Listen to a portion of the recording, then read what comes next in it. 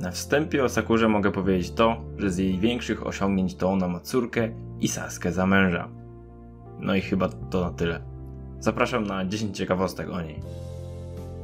Haruno oznacza wiosenne pole, a Sakura to nazwa ozdobnych drzew wiśniowych i ich kwiatów. Prawdopodobnie dlatego Sakura ma różowe włosy. Naruto i Sakura to jedyne osoby, które wystąpiły we wszystkich kinówkach i odcinkach specjalnych. Dla mnie ona nie należy do najpiękniejszych, może właśnie dlatego jej ulubionym zajęciem jest poprawianie swojego wyglądu.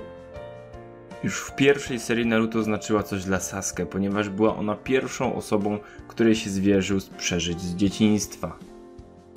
Podlaskie Stowarzyszenie Miłośników Anime i Mangi nazywa się Sakura no Ki. Oznacza to kwiat kwitnącej wiśni. Kakashi nazwał tak kiedyś Sakurę.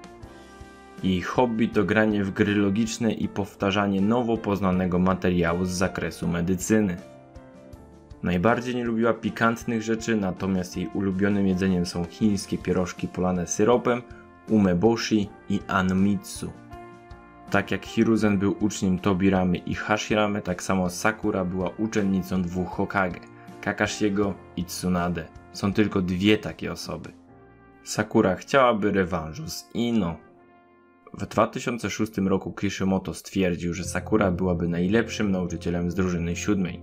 Z tym nie można się nie zgodzić. Sasuke to... no Sasuke, a Naruto jest potężny, ale głupkowaty. No i to by było na tyle o tej jakże ciekawej postaci. Mam nadzieję, że się podobało. Zapraszam do proponowania kolejnych ninja. To już na tyle. Trzymajcie się na razie. Cześć!